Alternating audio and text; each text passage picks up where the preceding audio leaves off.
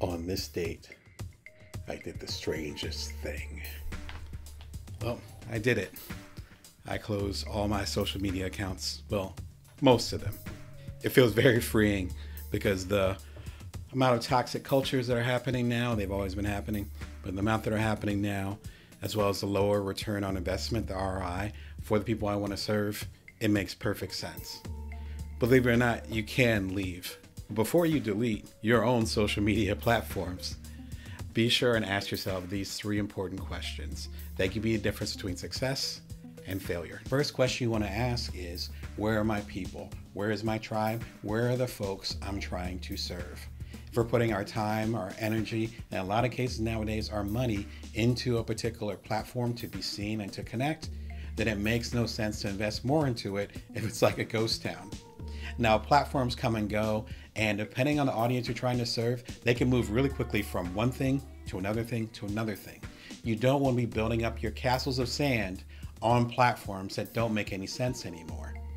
The second thing you want to do is consider a test run or a hiatus. The organizationalist Marie Kondo talks about this all the time, where if there's an item that you really like, but you're not sure if it's time to get rid of it or not, you can put it away for a few weeks, maybe even a few months. And if you don't miss it, you can get rid of it.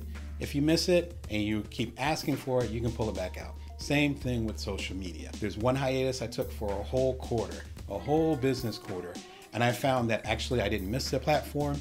And a lot of people that I want to connect with, I was able to connect with on my own platforms, including my newsletter and other areas that I have built up over time. If you do decide to take a break, put in your bio and say, hey, I'm on hiatus. I'll be I'll see y'all in a little bit.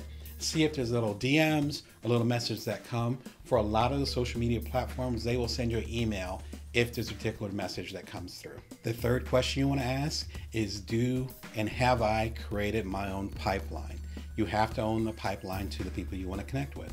Otherwise, if you're dependent on a social media platform, they can cut it off at any minute. And of course, you can't leave.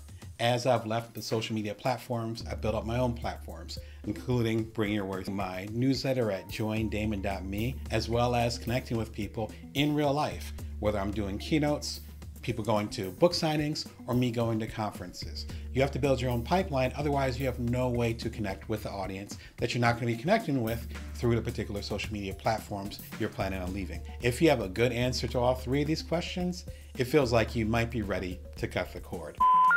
And believe it or not, you can actually make a thriving business outside of social media. And I found that my business actually improved as I left social media platforms. Be sure and watch this next Bring Your Worth.tv episode about that very experience.